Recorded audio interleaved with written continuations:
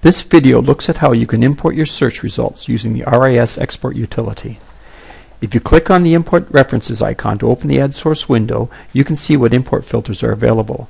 Although EPPI-Reviewer 4 has a limited number of import filters, you have access to hundreds of import filters that were created for EPPI-Reviewer 3. The file of search results we want to import is from the Embase database. There isn't a filter in EPPI-Reviewer for this, so we will need to use the export utility. The export utility is found in the EPPI-Reviewer 4 gateway, so let's go there. The web address for the gateway is shown on the screen. The RIS export utility will take your search results and convert them into an RIS formatted file. The RIS formatted file can then be imported into EPPI-Reviewer 4 using the RIS filter. On the gateway, go to RIS Export in the main menu. There are three steps in the process. The first thing to do is to upload your search result file into the utility. Click on Browse to locate your file and then click to upload. The second step is to pick a filter based on the data in the file. Selecting a filter based on the database the information came from is not always the most reliable method.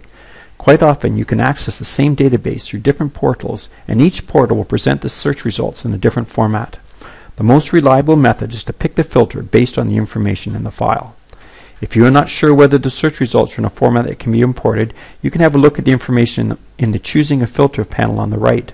If you click here, there is further guidance on saving search results and editing your search results to help with their importing. In most cases, each reference in the file will have a unique start tag and end tag. If we look at the file in a text editor, we can identify those tags. In this case, it appears that the start tag of each reference is A, N, space. Be sure to check a number of references to be sure this is the correct start tag. Now try to find the start tag in the start tag drop-down menu.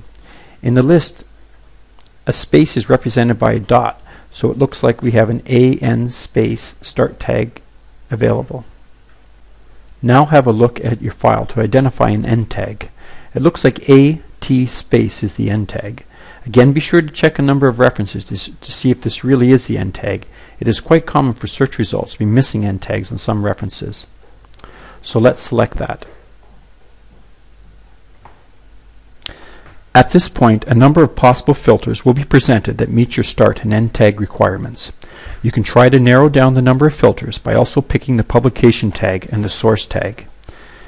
If we look at our file, we can see that the publication tag is PT space and the source tag is SO space. We can select those two tags as well. Our choice of filters both have the Embase name assigned to them, so there is a good chance we might have the correct filter available. As I mentioned earlier, you cannot always rely on the name of the filter, so you can try filters with names that don't match. Now that we have narrowed down the number of filters, let's try the first filter by clicking on Select. It shows that 150 references were identified in our file. You should now examine the results by clicking on View References to be sure it was a clean import.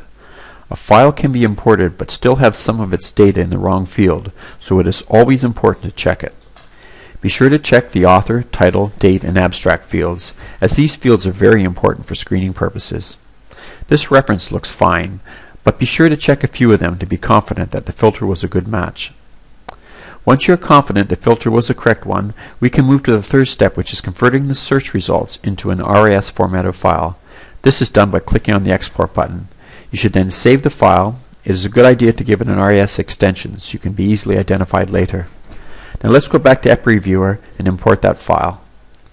Be sure you have selected the RIS import filter, then locate the file you just created.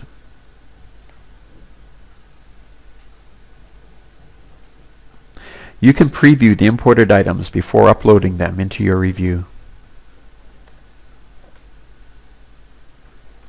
If you want to see the imported items, close the Add Source window, click on the Sources tab, and list the source you just created.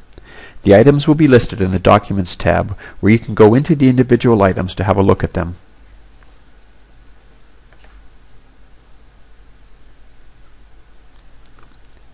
For more information about EPPI-Reviewer 4, please see our other videos or go to the EPPI-Reviewer 4 Gateway. The web address is shown on the screen.